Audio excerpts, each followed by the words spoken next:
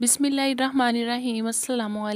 welcome back to my channel. Welcome back to my another vlog. कैसे हैं आप सब लोग? उम्मीद करती हूँ आप सब ठीक होंगे। और बहुत अच्छा रमज़ान गुजर रहा होगा आप लोगों का। और रोज़े रख रहे होंगे सब। अल्लाह ताला हम सब की इबादतें कबूल फरमाए, हमारे रोज़े कबूल फरमाए। आमीन सुमामीन और इस रमज़ान मुबारक के सदक़े अल्लाह ताला हम सब की तमाम परेशानियाँ, दुख तकलीफ़ें, जो भी लाइफ में प्रॉब्लम्स हैं, अल्लाह ताला सबको दफ़ा दूर करे और हमारे लिए आसानियाँ पैदा करे आमीन सुमामीन तो चलें जी आज की वीडियो का करते हैं आगाज़। तो यहाँ पे सैरी का टाइम है तो यहाँ पे मैं बना रही हूँ सैरी। तो ये देखें सैरी में ज़ाहिर सी बात है पराठे ना हों तो आ, मतलब ऐसे लगता है कि जैसे पता नहीं अब सारा दिन कैसे गुजरेगा।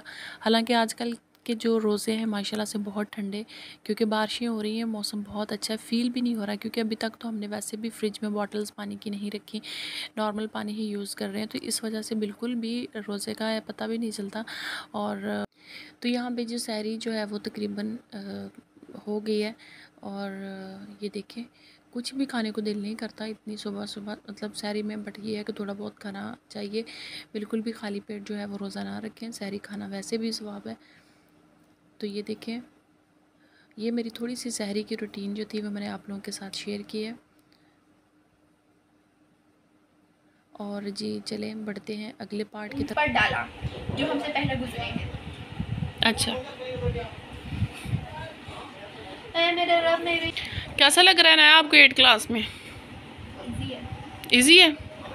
शुक्र अल्लाह का वरना तूने मुझे बड़ा परेशान किया था पता है?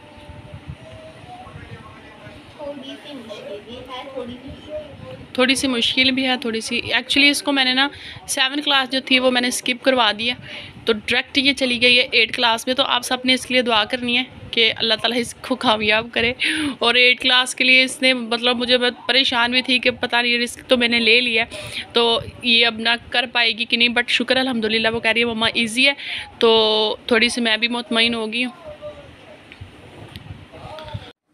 अनाया जो है वो अपनी स्टडी कर रही थी तो मैं यहाँ पे आज मशीन लगाई हुई थी, कपड़े धो रही थी। ये देखें अभी भी आप लोग देख सकते हैं, बादल हुए हुए हैं धूप शूप है नहीं थी। तो मैंने कहा, नहीं, कपड़े धोने चाहिए। और वैसे भी ये संडे का दिन था तो संडे को तो फिर मैंने कहा, नहीं, बच्चे घर हैं। तो चलो कोई नहीं बट मशीन लगाना बहुत ज़्यादा ज़रूरी थी, क्योंकि बारिशें लगातार हो रही थी। तो इसलिए आज मौसम अच्छा था तो मैंने कहा, फटाफट से कपड़े धो लो। आप देख सकते हैं, बहुत सारे जमा हुए थे और ये हमारी टंकी जो है वो भर गई है और इसमें से पानी पानी भर भर के नीचे गिर रहा है ये देखें। और कपड़े जो है वो मैं चेक करने आई थी ये सारे सूख गए। तो मौसम अच्छा हो रहा है बट एकदम से आंधी आ जाती है मिट्टी वाली और पता भी नहीं चलता बिल्कुल नहीं पता चलता जब आती है। तो तभी पता चलता है जब पूरे घर में आ, मतलब मिट्टी आ जाती है। तो यहाँ पे जी मैं नीचे आ गई थी कपड़े लेके तो यहाँ पे अहमद जो है ये अपना खा रहा है इसका रोज़ा नहीं है। ये भी छोटू है ना तो इसका रोज़ा नहीं होता। तो इसको भूख लगी हुई थी तो मैंने इसको जल्दी से राइस जो है वो मैंने बनाए हुए थे। तो वो मैं इसको गर्म करके दे रही थी मैं इसके पास बैठी हुई थी।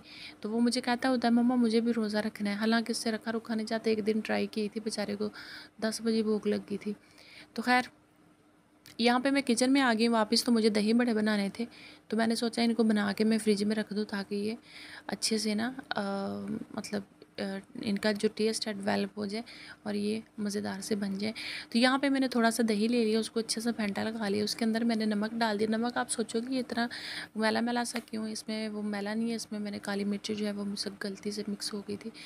तो इस वजह से इसकी शक्ल थोड़ी सी ऐसी हो गई और ये फुल्कियाँ जो मैंने घर में बनाई थी लास्ट टाइम मैंने अपनी वीडियो आप लोगों के साथ शेयर भी की है और ये बहुत मज़े की, बहुत बहुत बहुत टेस्टी बनी थी। तो ये देखिए, वही फुल्कियाँ मैं यूज़ करेंगी दही बड़ों में।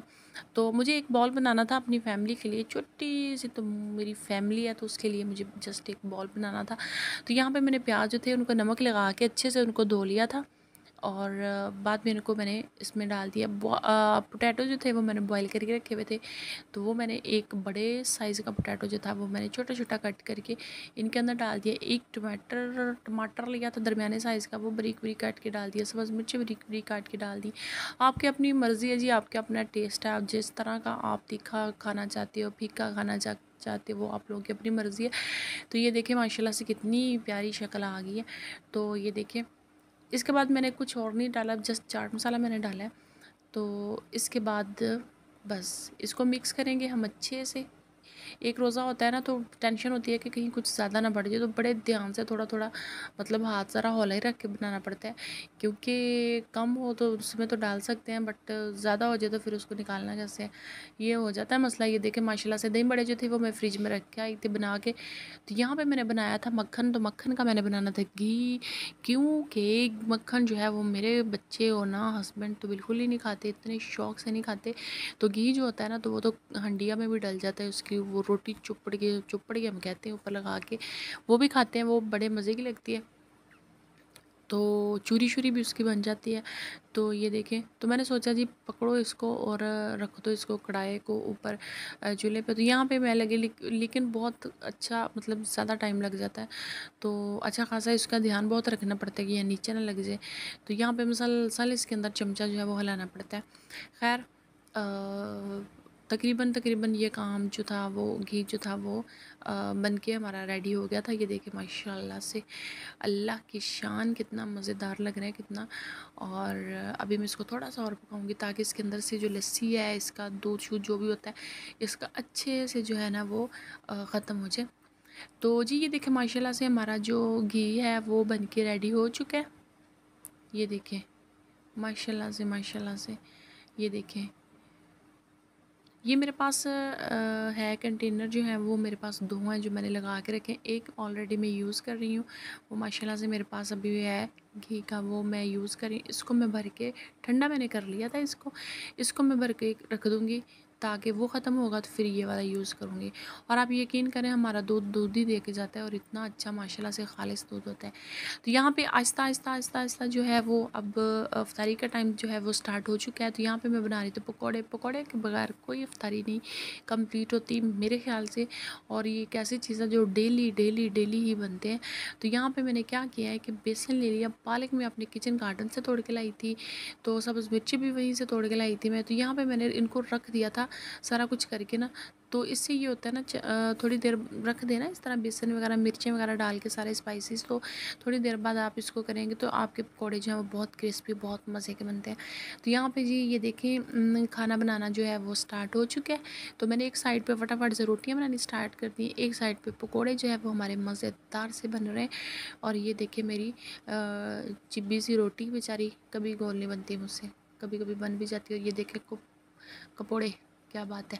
पकौड़ों की कितनी अच्छी है वो शक्ल बन के आ गई और ये हमने बनाई हैं पकौड़ियाँ। आप कहोगे हैं पकौड़े और पकौड़ियाँ।